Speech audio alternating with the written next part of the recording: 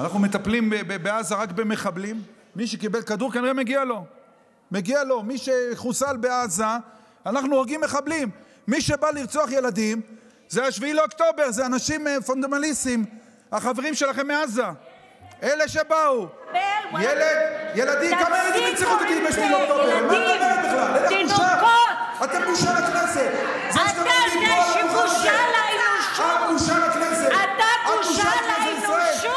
מקבלת פה במה, ואתם טוענים לדמוקרטיה? איזה יהודי, תגידי, עומד ברמאללה ונואם ככה באולם? מי? יבוא, יא... נעצור פה. קיבלתי כבר שבועיים פעם, כן? בושה וחרפה לדבר על כזה דבר אחרי 7 לאוקטובר, מה שעשו המחבלים, עוד מישהו שיצדיק אותם פה בכנסת הזאת. וטוענים לזכות הדיבור, כן? דמוקרטיה קוראים לזה. איזה דמוקרטיה? לרצוח ילדים יהודים בעוטף עזה? להיכנס ליישובים, לרצוח ילדים, לתלוש להם איברים?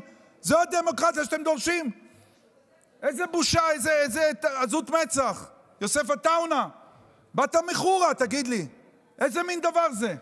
רצחו, המחבלים באו ורצחו, זה לא קשור עכשיו מוסלמים, לא. רצחו בדואים שהם מוסלמים. רגע, אתה תומך במעשה הזה? אתה מגן על אנשים שרצחו בדואים? אין לך בושה? אתה באת מהאזור הזה. אתה כאילו עכשיו מייצג את הבדואים, כן? אתה, אתה, אתה תומך בבדואים, תגיד לי? אין לך בושה? זה כמו שאני אצא נגד יהודים מרמת הגולן. אתה מדבר על דמוקרטיה. הדמוקרטיה נתנה לך את זכות הדיבור לעמוד פה על הדוכן. הדמוקרטיה נתנה לך, תתבייש אתה.